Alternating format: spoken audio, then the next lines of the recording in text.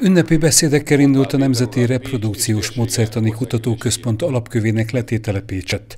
Bódis József államtitkár arról beszélt, hogy a kormányzat intézkedéseinek köszönhetően nőtt a születések száma hazánkban. Pár évvel ezelőtt még az a szám, amelyik kifejezi a reprodukciós értéket, az olyan 1,2 körül mozgott.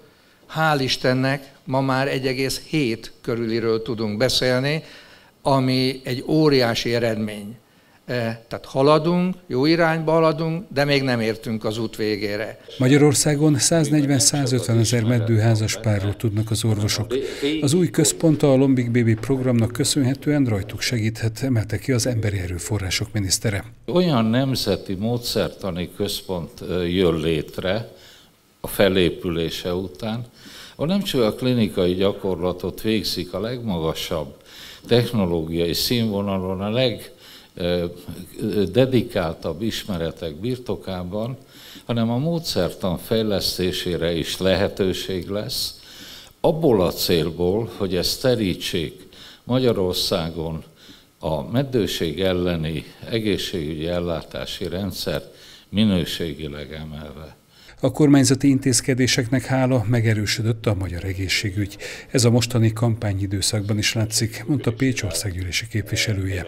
Napjainkban egyáltalán nem kampánytéma az egészségügy, hiszen elképesztő bérfejlesztés zajlott le, és fantasztikus infrastruktúra bővítésnek a kedvezményezettjei lehetünk mi is itt Pécsett.